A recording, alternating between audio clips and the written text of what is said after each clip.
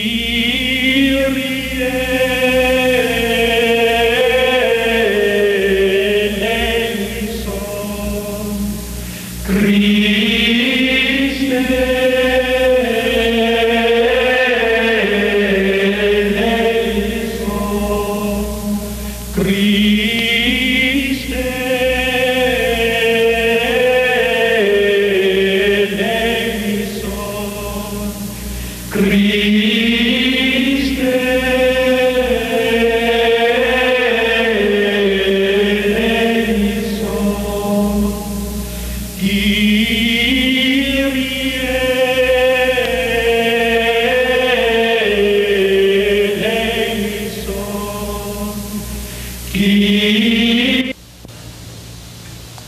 Good evening. I'm Dr. Francis J. Kelly, the Grand Knight of St. John de Matha Council of the Knights of Columbus in Hyattsville, Maryland. I'm also a member of the Archbishop Michael J. Curley Assembly that meets in College Park, Maryland. They're fourth degree Knights of Columbus.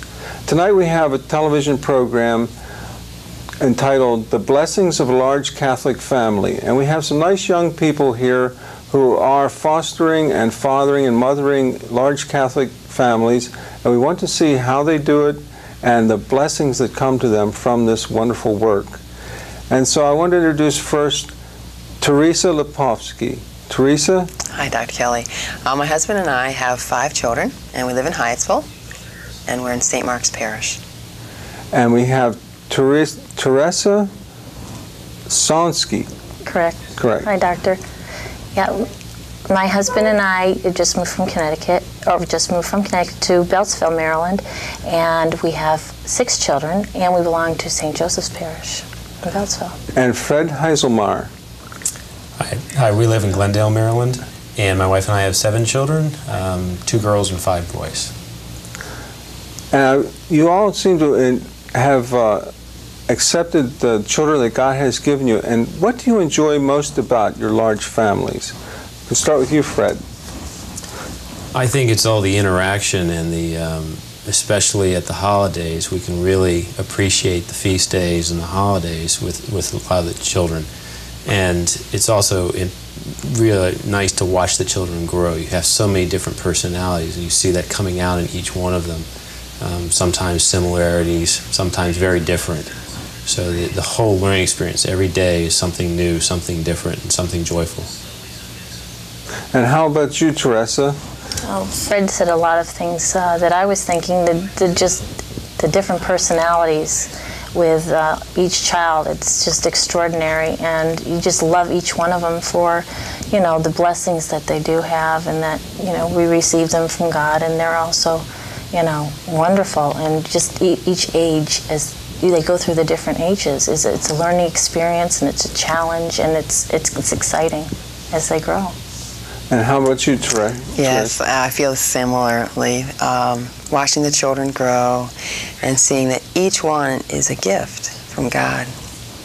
And just being open to life has allowed these children to come in and knowing that we're being asked to raise them, and this is uh, a mandate, uh, you know, uh, from God. And so we, I just, I have a lot of joy just watching the kids grow and learn and, and whatnot.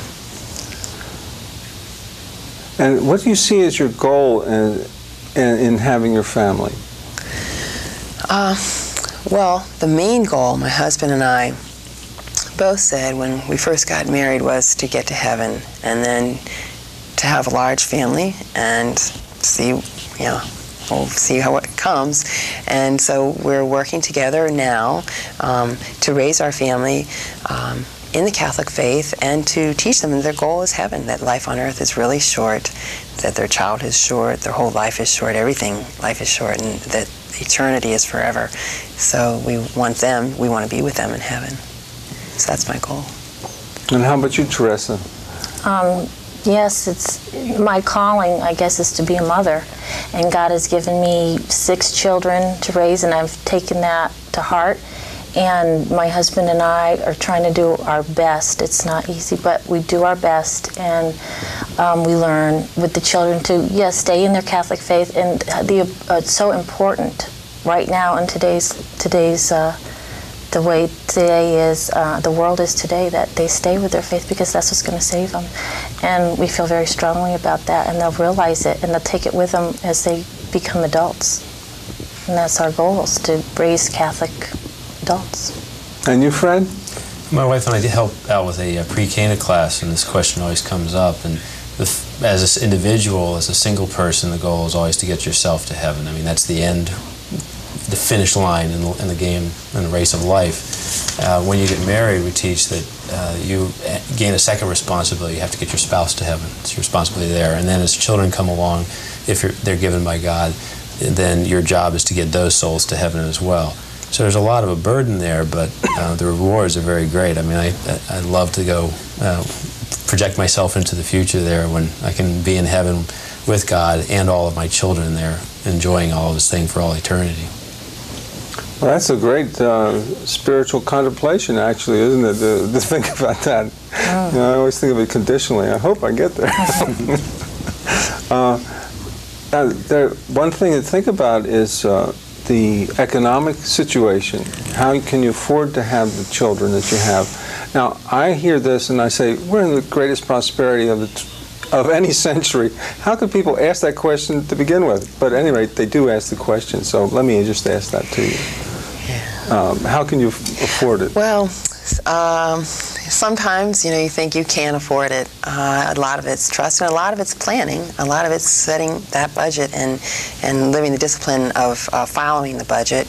Um, it's uh, I think there's a reward um, now, and uh, we rely, we trust in God that He'll provide the food tomorrow, just as He has today, and for the past years that we've been, you know, raising the family, and we look upon that as God's blessing, Him taking care of us up to this point, and we trust that He'll take care of us in the future, and and so it's living a budget and trust, That's- and working hard.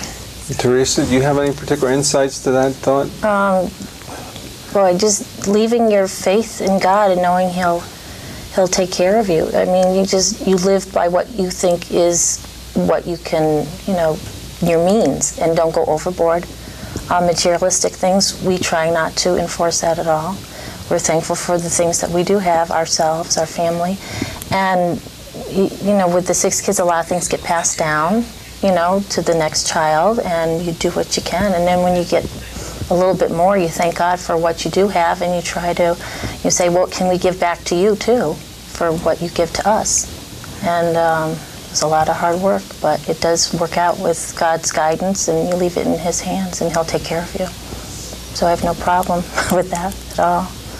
And you, Fred? I think the first thing is to uh, take a look at yourself and understand what your requirements are. Um, do we do we gauge how expensive or how much it costs to, to raise a large family by earthly standards or by what's really needed? Um, I think that to have a large family, you have to have a you have to be very secure in yourself. You have to understand that there's a level of sacrifice there, that uh, you might not have that giant 48-inch entertainment center. Um, you know, a small TV might work or something like that. Um, so that's actually uh, the first level. The second is trust. Uh, trust in God's providence. Um, like Teresa was saying, you know, it, He will always provide. Uh, he gave you the gifts of the children. Uh, they come with help from Him. So I mean, whenever you get in a bind, you say, "Lord, where's it coming from?" You know, I don't have enough for the, the mortgage this month. Something's got to give. Um, pray, and I found, you know, in my professional life that that parlays over to that. That I can look back and I say, well, there's nothing that I did to drive where my career grew or when this contract popped up, when that happened. But in retrospect, it always happened at the right time. It always happened when we needed it.